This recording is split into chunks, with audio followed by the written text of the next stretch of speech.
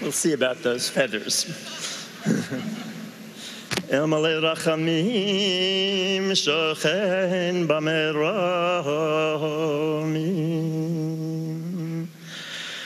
Master of compassion, God of compassion, send your blessings to Muhammad Ali and send your blessings to all who mourn for him and send your blessings for all the millions and millions of people who mourn for him all over this planet. Amen.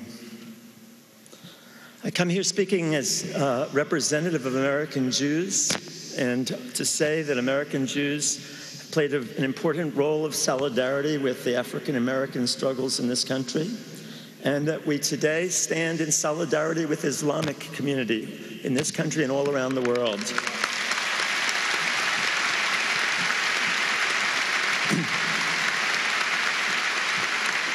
We, will not tolerate politicians or anyone else putting down Muslims and blaming Muslims for a few people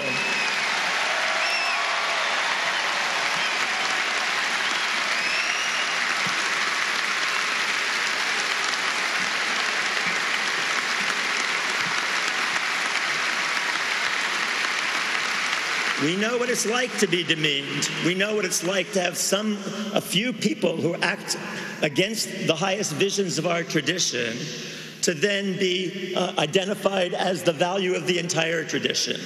And one of the reasons that we in Tikkun magazine, a magazine of liberal and progressive Jews, but also an interfaith magazine, have called upon the United States to stand up to the, uh, to the part of the Israeli government that is oppressing Palestinians is that, is that we as Jews understand that our commitment is to recognize that God has created everyone in God's image and that everyone is equally precious.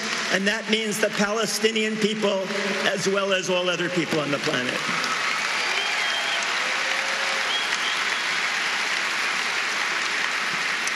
I know the people of Louisville have a special relationship to Muhammad Ali, and I had a personal relationship in the in the 60s when both of us were indicted by the federal government for our various stands against the war in Vietnam. I want to say that that although he was uh, um, cheered on as uh, the heavyweight champion of the world, you know, the truth is, is that in all the honor to him, but heavyweight champions of the world come and go, and sports heroes come and go. There was something about Muhammad Ali that was different. At the key moment when he had that, that recognition, he used it to stand up to an immoral war and say, No, I won't go.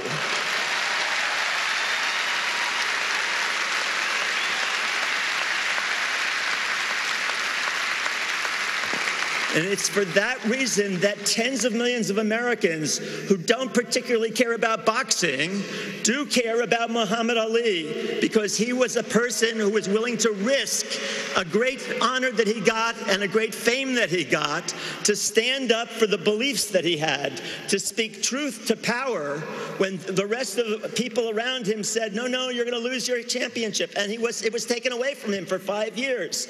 But he stood up and was willing to take that kind of a risk because of that kind of moral integrity.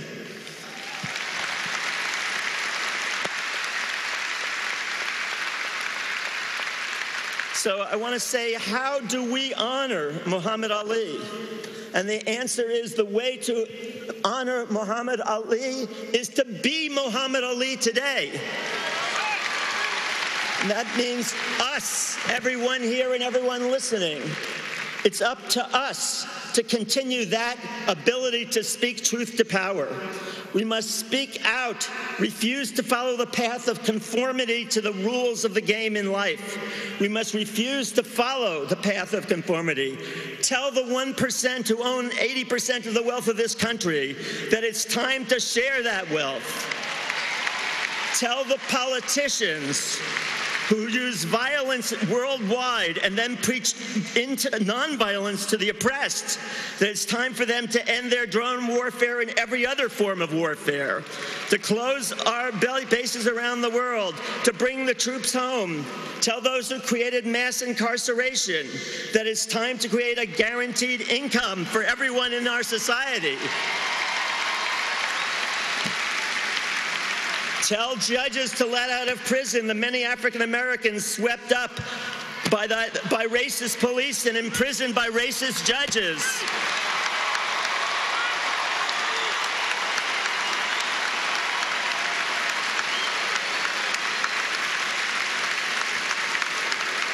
and many of them in prison today for offenses like possessing marijuana that white people get away with all the time.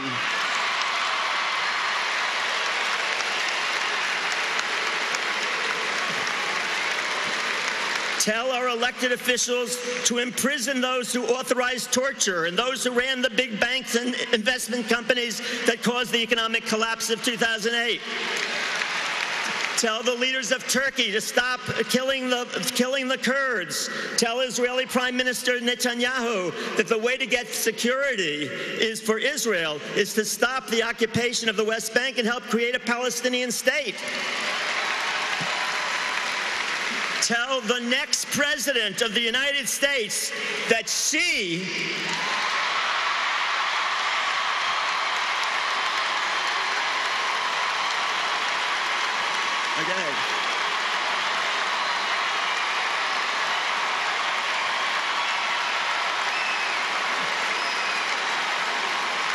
Tell the next president of the United States that she should seek a constitutional amendment to make all national and state elections funded by Congress and the state legislatures and all, all other sources of money be banned, including money from corporations, from individuals, all other money, make it all public funding.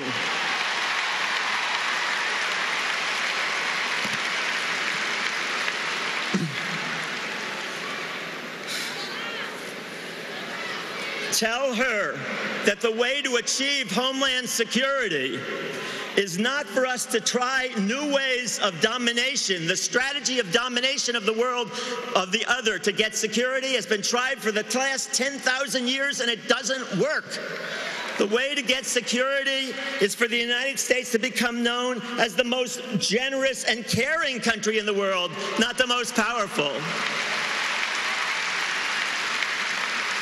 And we can start with a global and domestic Marshall Plan to once and for all end global and domestic poverty, homelessness, hunger, inadequate education, inadequate health care. So I want to, as chair of the Interfaith Network of Spiritual Progressives, by the way, spiritualprogressives.org, come and join us, spiritualprogressives.org.